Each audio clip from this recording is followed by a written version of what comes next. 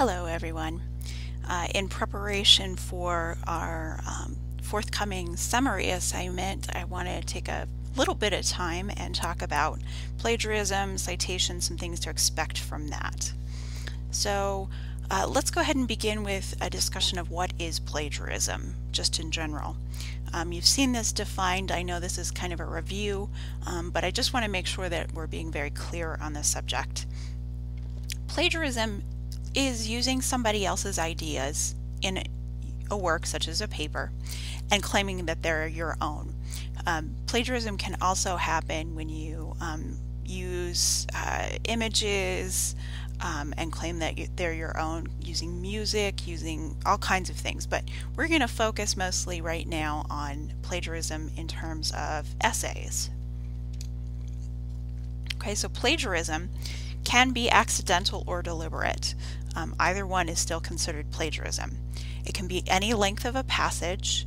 Um, plagiarism can be exact words or similar sentences. And it also can be ideas or words. So it doesn't have to just be exact phrasing. If you're you're using somebody else's ideas, you still need to um, make sure that you're not plagiarizing them. Okay, so in an English composition class such as ours, accidental plagiarism is seen as a cause for concern. Um, when you make an accident, we, we want to make sure that we're calling you attention to it, and um, we use that as kind of a teaching moment to try to get you to understand what's going on in that particular instance. Deliberate plagiarism, of course, is something different, and it, that's seen as a problem. Um, and there, there are usually a, a strong difference between the two. Um, most of the time we assume accidental plagiarism, but you can usually tell when somebody's deliberately taking from somebody else's ideas. Um, schools today use a software that searches the internet and tells your instructors if any um, assignments that have been turned in match anything else on the internet or anything previously turned into the college. So we do get a report from this. Um, you should be aware that Pikes Peak Community College and all other colleges in the area use um, a software program that can tell you, um, that can tell your instructors um, if you've turned in anything that's um, coming from even those those sites where you can pay for your papers. So what this means is, is that students should be very careful to avoid plagiarizing. You want to make sure that you're using your own words, your own ideas. It's really important. Okay, so one way that you can avoid plagiarizing is by understanding citation. Um, understanding citation allows you to protect yourself against um, plagiarism. So we've talked a little bit about what plagiarism is. Let's talk a little bit more in depth about what citation is. Okay, so citation is, at its heart, a specialized shorthand that just gives your readers specific information about source material. The kinds of information that are included in every kind of citation um, is things like where the original material is found, who created this initial material, what it's called, if it was a print or an online material, various other information. Um, the in-text citation, there's two kinds. There's the in-text and there's a citation list at the end of the paper. Um, both of these are important. They need to um, refer to one another. So the in-text citation is shorter, but it tells um, your reader how to find the information at the very end of your paper. Okay, so that's a, a very brief overview about what citation is. It's a um, kind of a stripped down definition. But let's talk a little bit more about why cite. We're going to get into information about um, how to cite as well, and we will be doing some practice. But for the moment, let's let's stick with why cite. Okay, so we talked a little bit about this earlier. Citation is how responsible and respectful writers safeguard against plagiarism. So it's both a way to protect yourself and it's also a way to allow you to show um, that you are a credible writer and that you're respectful of the conventions that happen in um, academic writing. Writers also, as I just mentioned, show respect for an academic convention by adhering to its standards. Okay, so it's showing that you can play by the rules. You also show respect for your readers by providing research resources. This allows the readers and you know writers who are looking over your material to continue the conversation. That whole academic conversation we started talking about in the very beginning. This is really important. We want to make sure that um, this conversation is not just something that gets left but something that gets continued. Okay so let's talk a little bit about what to cite Okay, so what you have to cite. Responsible and respectful writers always cite other people's ideas, no matter what the format, no matter how long the passage. Um, so you have to um, cite all of these items, and these are ways to incorporate other people's ideas. You have to cite a direct quotation. You have to cite a paraphrased passage. You have to cite a summary of somebody else's writing. So this, as you can see, plays into our assignment this week. You're going to be since we're working on our summary, you actually are going to have to make sure that you are citing both paraphrase passages and summaries entirely about somebody else's writing. Okay, so what you that is what you have to cite, what you don't have to cite. You don't have to cite your own thoughts, your observations from your own personal experience, and experimental results that you yourself have done, unless they were previously published. Okay? So, for example, I don't have to cite this. I can state my own personal opinions about Colorado weather or the way that I directly observe people reacting to it. Um, if I use these in a paper, I do still have to detail my observations, how I came to hold my opinions, but I don't have to cite myself. It would be very difficult to cite, um, since citing gives our readers how you can find this information. Doing that when it's your own personal idea would be very, very tedious, to say the least. Some other things you don't have to cite. What's called common knowledge. Um, a few things fall under this. Um, standard information, and I'll explain what that is. Folk literature. Um, also common sense observations. These don't have to be cited. Okay, so I don't have to cite standard information like historic dates. Um, the American Revolutionary War happened from 1775 to 1783. I don't have to cite that. I don't have to cite, you know, holiday dates, things like that. These are called standard information because they're generally known. But I do have to cite interpretations, theories, or discoveries not commonly known or commonly accepted. So this historian is talking about the Revolutionary War. Um, according to historian Elizabeth Collins, many key community figures, including George Washington, opposed the arming of slaves during the American Re Revolutionary War. I've got that in-text citation right after because this actually um, provides information about something that she's written. Okay, I also don't have to cite folk literature um, if it's specifically not connected with an author. So for example, short fable Little Red Riding Hood contains a big bad wolf, a girl dressed in red, and a grandmother. Okay, this is very generic. Um, I'm not going to a specific um, document to find this information. I just kind of know this from my own experience. But if I were to use a um, this specific folk literature that was connected with an author because there are several people who have written different accounts of Little Red Riding Hood. In this case, Charles Perrault, you may be familiar with the Grimm's version, but um, in Charles Perrault's retelling of Little Red Riding Hood, the girl is consumed by the wolf with no hope of being saved. So this specifically is related to Perrault's writing, so therefore, again, I have to include my citation here. Okay, I don't have to held, uh, cite commonly held opinions. So, and this gets a little tricky because what a commonly held opinion has to be something that everyone would agree on. Um, so the American dream has long been considered a motivating factor the, in the economic life of the American public. Now, if somebody didn't agree with that, um, that the American dream was something, I would have to actually start looking some research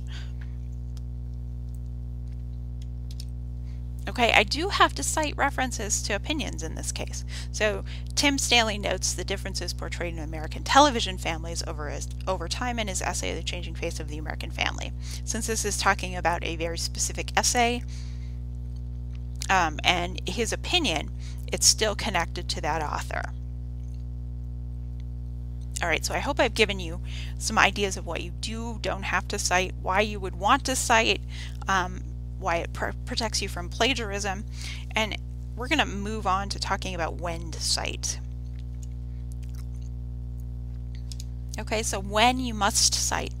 At the very first mention um, in text when you're writing a paper, the very first time you mention the writer's ideas, that's the time that you need to cite. Okay, if you switch to a different writer's ideas or a different section of the same writer's ideas, you should cite. So if you're switching page numbers or um, chapters or anything like that, or if you're going to move to a different writer altogether, you have to cite again. Okay? So I'm going to give you an example here. This is a, another um, example of in-text citation. Um, Michael Benson raises several salient points regarding a NASA policy, and then I've got my page number in parentheses here. Um, because I have um, Michael Benson's name in this part of the, um, the citation, I don't actually have to put it on in the in-text citation here. Um, Benson advocates that space exploration be more bold. Further, he condemns the current space exploration policy as absurd. And again, because his name is here, I don't have to put this here. Uh, put his name in the citation at the end. If this just said he advocates that space exploration be more bold, then I would need to put Benson um, space, and then the page number. Okay?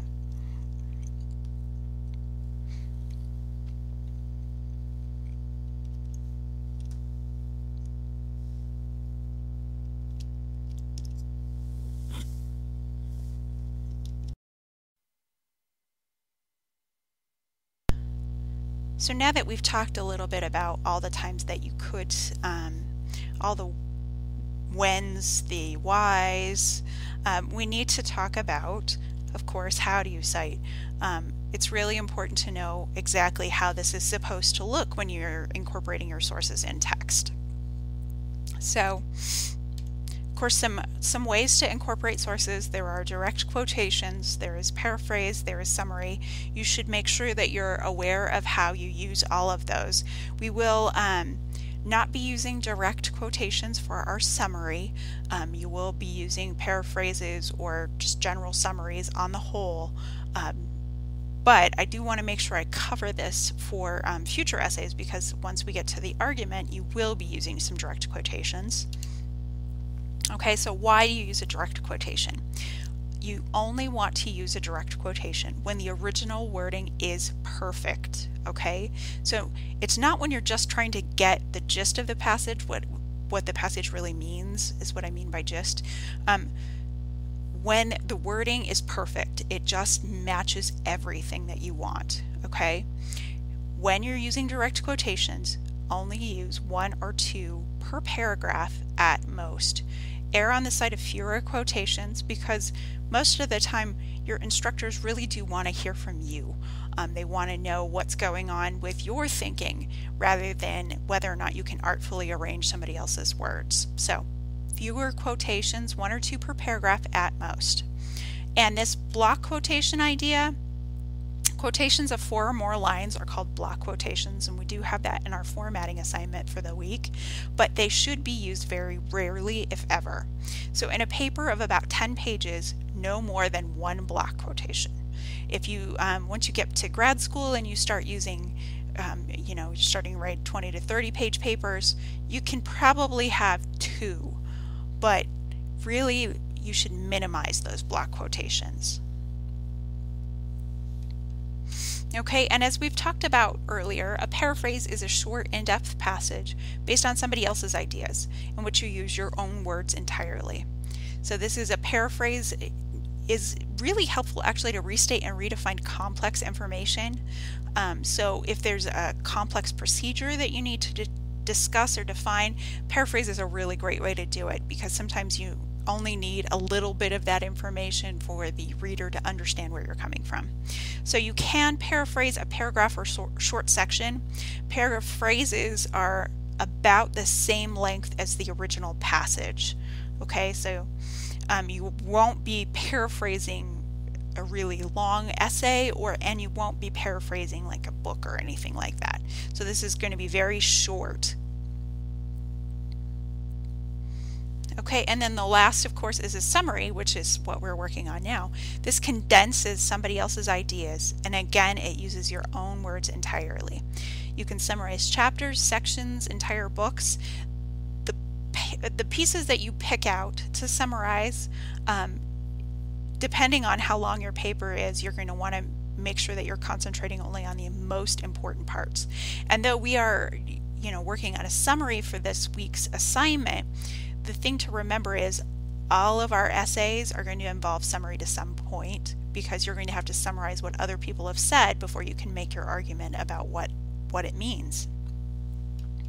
Okay, but no matter if you, you're going to use direct quotations, paraphrases, or summaries, you have to cite. Okay, you are always going to cite, right? and I'm going to show you what that looks like. We are going to talk a little bit real quick about signal phrases. Um, these are one way that you can use to make sure that your readers understand that you are um, ideas coming forward are different um, from there are your ideas versus the, the ideas that are coming forth from your papers. Signal phrases let you know which are which. So they're very important to use when you write, so your reader always knows which ideas belong to you and which ideas belong to your research. Okay, so a couple of examples we have here are like according to the author's name goes here. Clive Thompson argues, Cynthia Haven and Josh Keller point out. Um, so you probably, a lot of people use these intuitively, but um, it's really good to just start incorporating these all the time in your um, in your papers at this point. There are tons of examples of signal phrases, and um, I will give you some more templates for this, but your Little Brown Handbook does have some great examples on page 644. Okay, so while we would never take any quotate, quotation out of context, or alter it in any way, we may need to smooth out some of the wording in order to make it fit grammatically in the sentence. Okay, and I'm going to show you how to do that. Um, we can do this with very specific formatting for omitting words, substituting or adding to maintain grammar or syntax, and we're not going to change the meaning. We're only going to try to make it fit into our sentence so it's not confusing and it's it's less clunky. Okay, so if you have to admit uh, excuse me, omit words in a quote. Um, the uh, we've got this little passage at the bottom. It says in Shakespeare's Sonnet 73, the speaker identifies with the trees of late autumn, bare ruined choirs where late the sweet bird sang. Line four. That's the um, citation. In me, Shakespeare writes, Thou seest the glowing of such fire that on the ashes of his youth doth lie, and then there's the citation again because it's changing the line numbers. Okay, but this passage, um, the writer who's talking about this passage is only talking about the trees of late autumn rather than talking about the rest of the poem. Okay, so um, you're going to go ahead and use an ellipsis, which is the, those three periods to state that the, the writing goes on, but we're not going to talk about that. All right, so we're not taking it out of context. We're only just, we're going to focus on a specific part of it.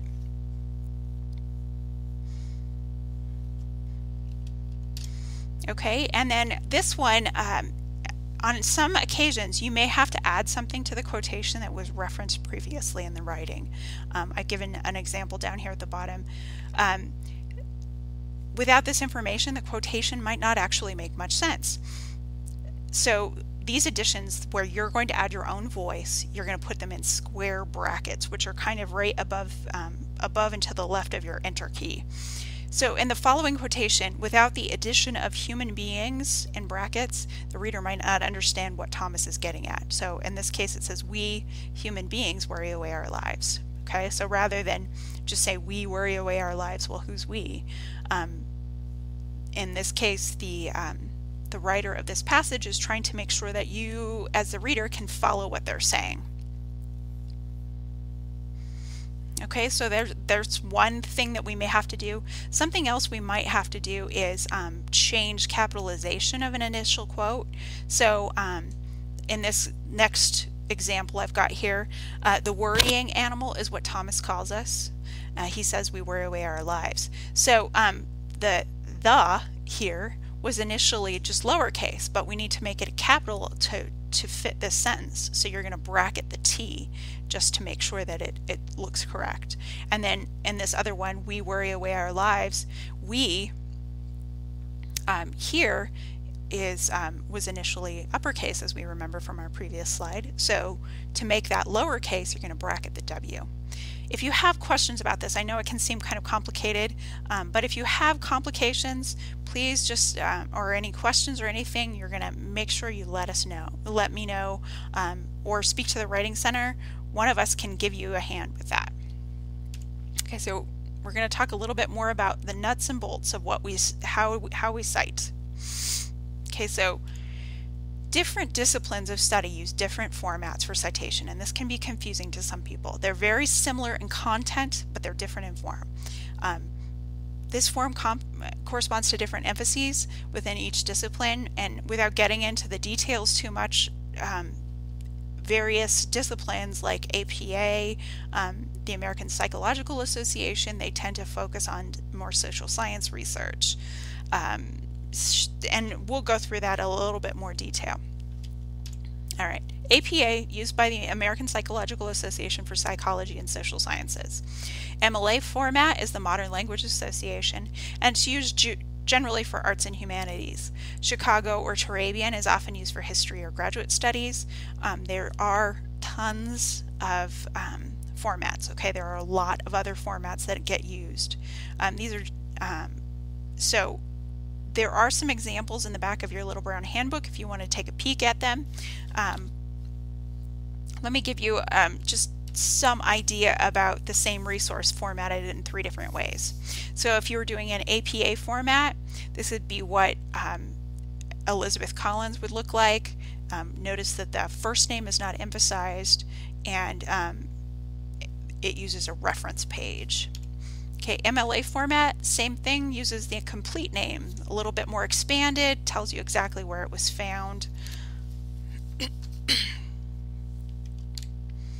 uh, Chicago, um, rather than works cited or reference, uses a bibliography page and gets even a little bit longer, which is why you can see that history and, and or graduate studies would be interested in this. Okay, and if you're interested in looking um, for citation sources, um, the Little Brown Handbook gives you, um, chapter 46 is using MLA documentation and format. Um, there are uh, additional chapters about um, APA and other formatting. And I believe Chicago, and I think CSE as well in your Little Brown Handbook. Uh, the inquiry text also offers some information about citing and documenting sources, and our library offers this wonderful resource called Noodle Tools, which will help you check your formatting if you're not sure. Sometimes I am asked about um, online uh, citation generators or Microsoft Word or any of the other word processing programs generators. The thing is, is you can use that to um, track your information, but you don't want to rely on that as a final source. It actually, um, they can be, they're machine generated. It's not like they're being generated by a person, and they can be very wrong. Um, so you need to know what they look like. You need to know what the capitalization for everything looks like. Um, because if you don't then it just looks like you're you're not taking the time to be respectful of the convention. So use these tools but kind of have an idea that you're going to need to spend some time on this. Citation work does take quite a bit of time unfortunately. All right so that's the basics on plagiarism and citation and kind of how to protect yourself from it. I hope you're getting a better idea through your reading and through the lectures how you actually go about um, protecting yourself by doing in-text citation and end of uh, the end of your paper resources. But once again, please stay in touch with me if I can answer any questions. Thanks and good luck.